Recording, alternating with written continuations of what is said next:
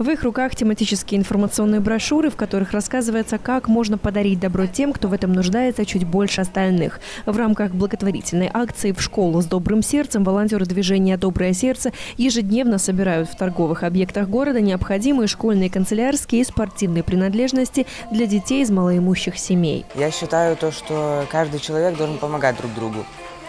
Ну, дети, которые нуждаются, мало ли какие ситуации бывают. Сейчас ты поможешь, а потом тебе помогут. Мне очень нравится помогать детям. Я неоднократно ездила в детские дома, мне это очень нравится. Видеть, как вот детки очень радуются вот этим канцелярским принадлежностям, мишкам, игрушкам мягким, вот настольным играм. Смысл акции понятен. У большинства брещан есть реальная возможность приобрести школьные принадлежности для первоклашек, нуждающихся в заботе особенно. Постепенно корзина, пусть не так быстро, как хотелось бы, наполняется. В ней все, что необходимо для школы. Наборы карандашей, фломастеров, пластилин, тетрадки, ручки. Казалось бы, такая мелочь, но волонтеры уверяют, дети, которым вручат эти подарки, будут очень рады. У них нет поддержки со стороны родителей, у них нет вообще поддержки.